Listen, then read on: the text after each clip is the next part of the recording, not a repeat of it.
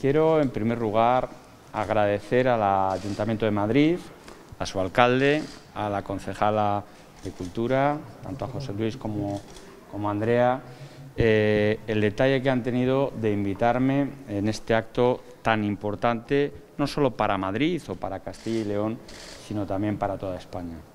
Hacer un reconocimiento, por un lado hemos estado viendo dónde se va a ubicar eh, la estatua de la reina de España, de Juana I, primero, Juana I de, Castilla, y, por otro lado, estas jornadas sobre el movimiento comunero. Mucho se ha escrito, mucho se ha hablado sobre el movimiento comunero.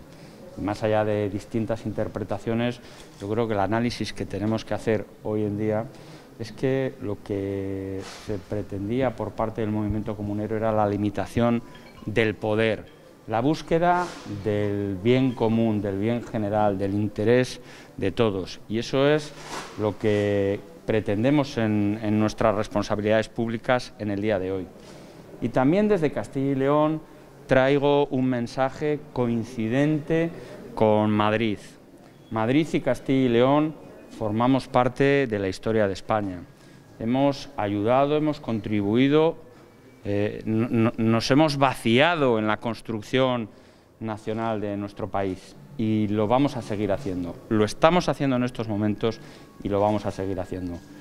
Desde luego, esos ideales que sobrevivieron a la batalla de Villalar, que como saben ustedes es el día grande de las fiestas de Castilla y León, eh, perdieron los comuneros, pero ganaron la batalla de las ideas. Esas ideas que hoy perfectamente pueden sintetizarse en una norma jurídica como es la Constitución española. Porque lo que pretendían con la Ley Perpetua de Ávila es precisamente tener unas normas de todos y para todos. Y eso es lo que buscamos también con la Constitución española. No ir cambiando porque sí, sino hacer una reflexión de lo importante que es la Constitución española en el día de hoy y, que ha demostrado a lo largo de todos estos años de democracia nuestro progreso social y económico.